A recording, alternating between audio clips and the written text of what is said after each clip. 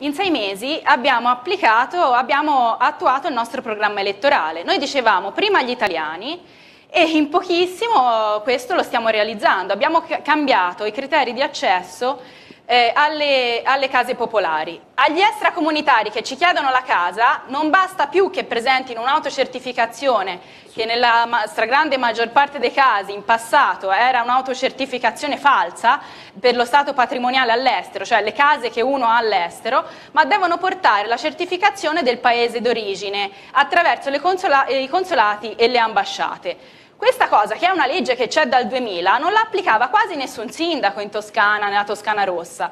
Noi l'abbiamo applicata e tanti extracomunitari sono venuti nei nostri uffici a dire fino all'anno scorso presentavamo autocertificazioni da false, da quest'anno non possiamo più farlo e quindi neanche presentiamo domanda. E questo è un primo criterio. L'altro criterio posso. che abbiamo messo è che momento, momento. chi si comporta bene, si è sempre comportato bene nella propria vita e non ha commesso reati, deve avere un punteggio preferenziale e così diamo un punteggio preferenziale agli incensurati. in questo modo sono risaliti un po' nella graduatoria. Altra, altra cosa, veloce chi perché devo chiudere. Case, chi occupa le case viene escluso dalla possibilità di presentare domanda. Chi occupa non ci sta.